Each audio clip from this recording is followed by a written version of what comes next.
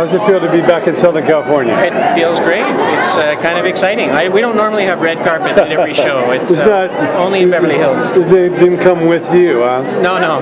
Special treatment. Yeah. Well, fantastic new album. Um, who, who are your biggest influences coming into music? Who, who inspired you to want to do what you do? Well, uh, when I was a little kid, my mom had these Manitas de Platas records. He was a gypsy player from France, and as a kid, apparently, I got hooked on him. Uh, as I got older, it was really Paco de Lucia. As a guitarist, uh, as a producer, Peter Gabriel was a huge influence.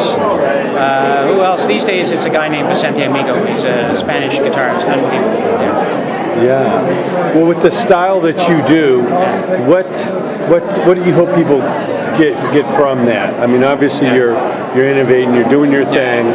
What, what do you hope to you know achieve as far as not not only with your present music, but you know reaching more people? What would you like to do? Well, you know, um, what I try to do is do a mashup of world music, kind of make try to make something new out of things that are old. So, you know, there are elements. Uh, I- over the years, I studied uh, classical guitar and jazz guitar and flamenco, and so I mix those together and I play the guitar the way I do, and then I mix it with elements of uh, you know Arabic music, uh, Latin music, salsa, Brazilian uh, music from Cuba, music from Colombia. Just mix it all together and try to create a, a world music and global fusion stew. Sure. Well, with the music business changing so much, obviously these days you can kind of do your own thing, find your own niche. Do you, do you find it exciting that people are kind of moving away from some of the traditional media and they're kind of coming out and finding out about more more forms of music and maybe opening their ears a little more? Absolutely. I mean, I think because of the internet, I think, you know, in terms of, you know, travel time and communication, the world is smaller than, say, France was 200 years ago.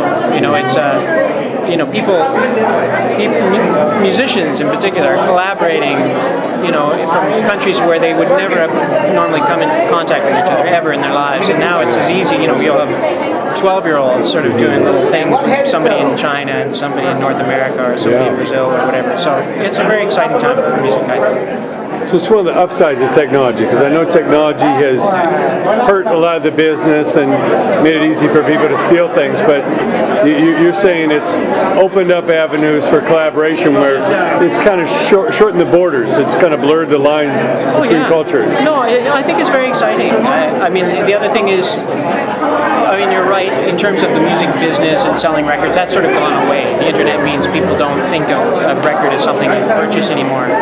But uh, I think what the internet sort of taketh away, the internet giveth in the form of, you know, an artist like myself who's doing music that would never normally be on top 40 anyway, is suddenly accessible to people who really want to dig a little bit and find out about it. You know, and maybe they're interested in De Lucia or something, or the Gypsy Kings, and because of that, they, they are able to find me. They don't have to listen to top 40 record or radio.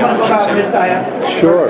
And all that you've seen, what advice you give to that young player coming up, the young creative person who wants wants wants to have your life?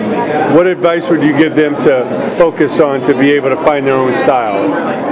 Oh, I think it's it's so hard. Uh, I, I think obviously find that thing that is your voice. You know that uh, we all as musicians we, we emulate the people that we admire. When we first start, you learn to play like the people that you admire, you love, and then at some point you have to find your own sound, something that is uniquely you.